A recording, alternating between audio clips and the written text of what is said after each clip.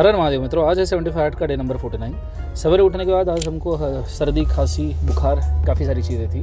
Weakness भी body में काफ़ी सारा था बट फिर भी हम साढ़े चार बजे थोड़ा सा लेट उठ के शुरू कर दिया हमने हमारा साधना, जिसके अंदर हमने किए सूर्य नमस्कार, शक्ति चलन क्रिया शाम्भवी महामुद्रा और फिर हमने एक डेढ़ घंटे के बाद में फ्रेश हो गए। बीमारी की वजह से थोड़ा बुरा लग रहा था, इसलिए फ्रेश होकर हम निकल लिए हमारे मॉर्निंग वॉक के लिए।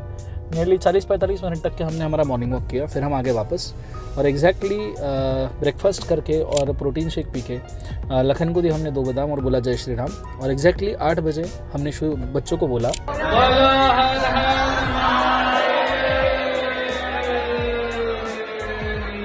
चार पाँच घंटे की क्लास लेने के बाद में फिर हम चले गए हमारे फैमिली के साथ बाहर खाना खाने के लिए। बाहर हमने 75 फाइव हार्ट के व्रत का पालन करते हुए काफ़ी सात्विक डाइट किया और व्हीट से बने हुए कुछ नूडल्स और साथ साथ में कुछ ग्रेवी खाई। और फिर उसके बाद में, घर आने के बाद में हमने फैमिली के साथ समय बिता के थोड़ा सा आराम किया बीमारी की वजह से। और फिर हमने उठ के पढ़ा हमारा book that is trading in the zone.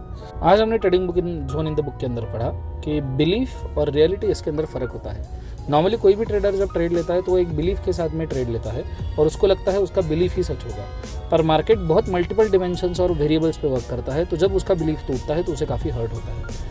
इसके बाद में फिर हमने किया हमारा पानी का टास्क कंप्लीट खाया हमने रात का खाना, आज के ये रही आज की सेल्फी आज के सभी टास्क होते हैं खत्म, बोलो ओम नमः शिवाय।